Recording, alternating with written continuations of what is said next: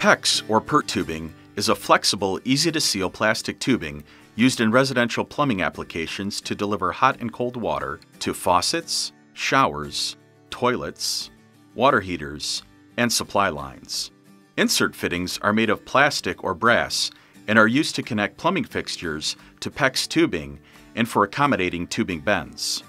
Copper crimp rings are pressed onto PEX tubing to secure the fitting and make a leak-free connection using quality installation tools. In order for the copper crimp ring to force the PEX tubing material into the gaps between the fitting barbs, the copper crimp ring must be positioned over the barbs. We recommend a gap of 1 8 to 1 4 inch between the tubing end and the edge of the copper crimp ring, which ensures the barbs are covered. Making a strong PEX connection is simple, but a specific procedure must be followed, starting with proper protective eyewear. Be sure the PEX tubing is cut straight and flat. Slide the copper ring over the tubing. Push the fitting into the tubing. Be sure the tubing end butts up against the fitting shoulder.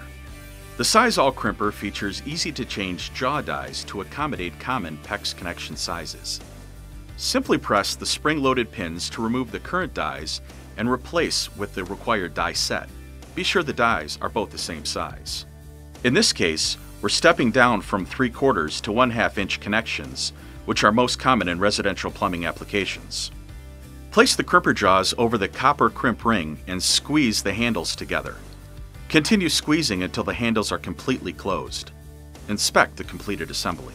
Double check the 1 8 to 1 4 inch gap. Check the copper crimp ring with the included go no go gauge. Select the tubing size on the gauge. Slip the go opening over the crimped copper ring. When the gauge slips over the ring, it indicates the ring is fully crimped to proper specification. Select the no-go opening and attempt to slip it over the crimped copper ring.